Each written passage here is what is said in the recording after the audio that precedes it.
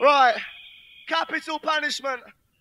We're going to get the party started right now. I'm going to count to three, and I want to hear you take the ceiling off. One, two, three, make some noise!